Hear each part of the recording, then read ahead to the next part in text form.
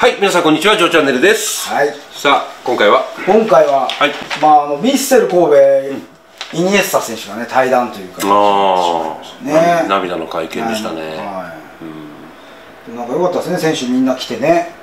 会見場にもね。まあね。ヴィッセルの選手が来てなんか、うん。まあみんなにすごいね慕われてたんだなっていうのはなんか伝わりましたよね、はいそうですね、でもイニエスタ来てね。うん？久しぶりにこうあれでしたよね。もう本当にあのビッグネームがこう J リーグに来たっていういねやすごい選手来たよそねれは思いましたよね、本当。うん。まあ、それによってね、はい。ヴィッセルのレベルもうん。きっと上がったんでしょうね。ああそうだろううねん。間近でやっぱり見れますからうんね確かにね。もう悪いノリしてるねそれ。ね何何何？何それ？え？もう全くこちらよりもいやいやすごいよな。いやその通りだなと思って。絶対に語られない話がここにある。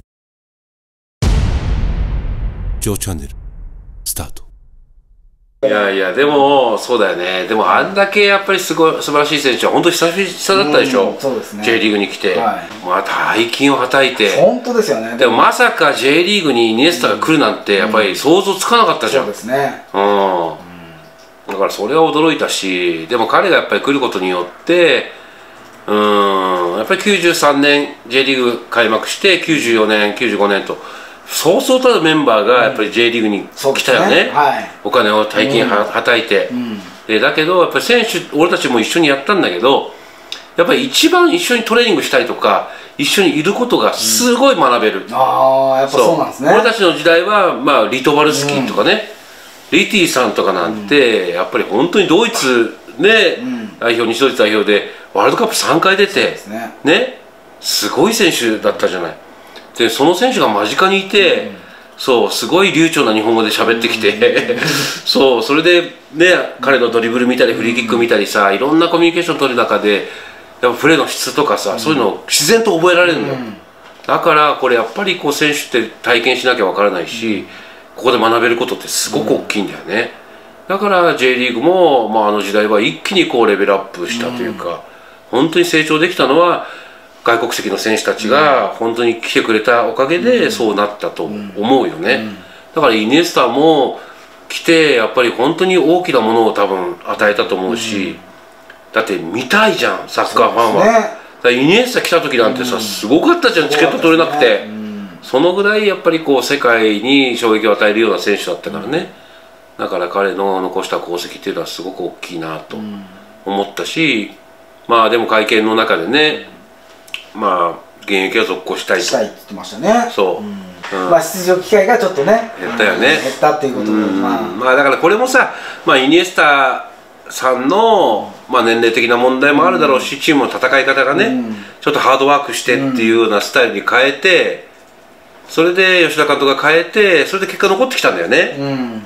だからそっちの方向性でいくってことで方向の違い性とかさやっぱりそういうのって出てきてね、まあやむを得なく対談みたいな感じになったとは思うんだけどね、だからまあそういった部分では本当にでも、うん、プレーしてくれたのは本当にありがたいなと思うし、俺一度会いたかったんだよね、うん。ねあってほしかったですけどね。そうでも俺はまあ向こうでね行った時もイニエスタワインっつってね、はい。イニエスタのワイン工場とかね、でイニエスタ通りみたいだって名前ついてるのあイニエスタ。そうなんですか。で雇用してそうワインねの工場で雇ってね皆さんを、で働いてもらってとかさ雇用してるのよ。で俺イニエスタワインとか行ったことあるからね。へえそう。美味しいんだよ結構あそこのワイン。そう。一度ねちょっとね一緒にワインでも飲みたかったな。ああね。ね。ありますけども、はい。うん、まあでもイニエスタさんはまあこれからどこに行くのかはね、まあそうですちょっねとわからないけども、うん。でバルサ対ね、うん。えー、ヴィッセル神戸の試合があるでしょ、しかも場所はどこでやると思いますか？え？どこでやるんですか？国立競技場ですよ。これ一世国関係ないじゃないですか。国立じゃないですか。そう。だから俺は驚いたのよ。ああなんでこうノエビアスタジアムってね、はい。ヴィッセル神戸のホームとこでやるのかと思ったら、え？うん。って見たら国立競技場でやるうん。のこれはサポーターが怒ってるわけ今。ああまあ確かにね。なんで国立でやるんだと、うちのホームは神戸だろうと、うん。ここでやりなさいよって話なんだけど、抗議文とかいろいろ出してんだよね、でだけどそこの試合で全てが終わるわけじゃなくて、最後なんかお別れセレセレモニーみたいのは向こうでやりますみたいな話は発表はあったんだけど、そう。でも俺なぜか知らないけど、まあ、某テレビ局で私その試合を解説します、あそうなんですか？はい。ああそういうことですか、はい。へー。ちょっとなんかたまたまねそういう話があって。ああそうなんですか、はい。ええやらせていただくんですけど。でもこれなんでですかね？なんで国立なんですかね？まあやっぱり多分まあ集客もももちろんそうだしいろんな方たちに最後こう応援ね。たくさんの人が集まってほしいっていう思いだったんじゃないかな。だけどサポーターとしてはそうですよね。俺は俺らの神戸ねヴィッセル神戸でここでやるのが当然でしょっていうのは俺もそう思うよ。ね。この間の30周年記念マッチもアントラーズとグランパスも、うん。アントラーズのサポーター行ってましたもん、うん。鹿島スタジアムで見たかったっていそうだね。やっぱそそれはサポーターからしたらそうなんですよね。まあそれはそうだよね。ね。だから、まあそこですよねこの間も話し合ったとおり、うん。地域密着って言ってる割にはそういう記念試合とかを国立でやっちゃうから。まあだから結局さやっぱりチケットの売れ行きとかさ、まあいろんなことを考えての多分ね、うん。そういうところの場所選びだとは思うんだけどね、でも本当に地域密着考えるんだったら自分たちのところでやれよとかさ、その時の再現だったら同じ競技場で同じ時間にキックオフする、うん。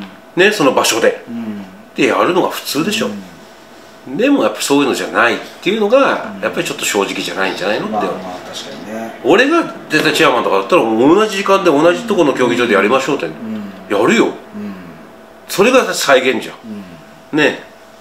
それでやっぱり見たい人はやっぱり見に行くじゃない、まあまあそうですね。うん、まあそういうのがちょっとあるかなって気がするけど、まあでもイニエスタ選手のね、まあ、バルサも来るから、まあそこでね、まあ、どのぐらいのメンバーが来るか分かんないけどね、まあでもそういうのをやるということで。まあでも本当に日本ってやっぱり今お金がないし非常に厳しいね状況の中でやっぱり外国籍の選手が呼べないじゃん。あんまり、すごくいい選手なんて何十億ってかかるから、だから俺は前々から言ってる通りやっぱりそうやって向こうの世界時計に合わせてね、もう J リーグもやっていかないと、この先いい選手入ってこないよお金で買ってこれないんだから、でもまたなんか話し合いで動きそうですよね。その移行するっていうあの冬の開幕の方に。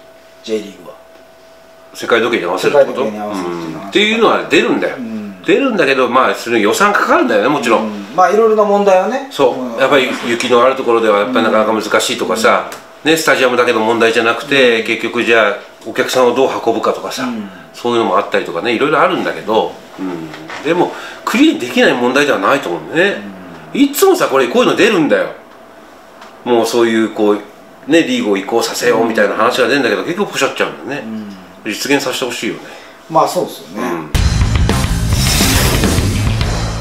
まあでもい俺はやっぱりイニエスタ選手好きだったからねすごい。うん、まあここからでね、そうあれだけどやっぱり足の技術とか展開力とかやっぱりすごかったし、そうですねやっぱりスペイン、ね、代表でもすごい活躍してたしね、まあもまあ、もちろんもちろん世界的なクラブのバルサでね、あれだけ活躍してる選手が日本に来たというのは本当に良かったなと思うし今後ね、まあ、やっぱり現役続行をちょっとね表明してるからどこでプレーするのかっていうのもね、一つ楽しみではありますし、でも彼がやっぱり行った先ではやっぱりこうプラスの影響をね与える人だし、と思うからね。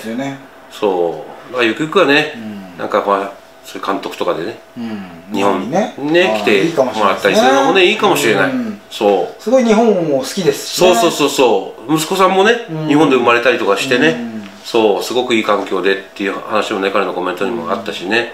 奥様もなんか日本をすごい気に入ってるみたいなんでね。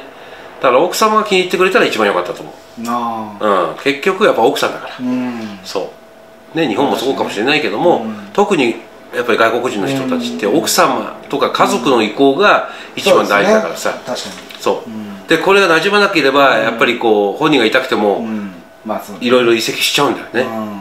これってやっぱりこう文化の違いというかさ、うん。日本ってさ単身でもいいからに、仕事やるよってうん言うけど、やっぱり海外の選手は違うからさ、うん。家族が違うって言ったらもう家族の、うん。そう言う通りになっちゃうからね、でもそのあたりは日本を満喫してもらって日本、ねいい国だって言っていただいたのはありがたいなとねね。思います。はい。はい。ということでねイニエスタ選手、まあ、これからも、まあ、世界のねはい。イニエスタファン、ね、そしてね、まあ、サッカーを志す人たちにね、また夢と希望を与えてほしいなとはい。思います。チャンネル登録よろしくお願いします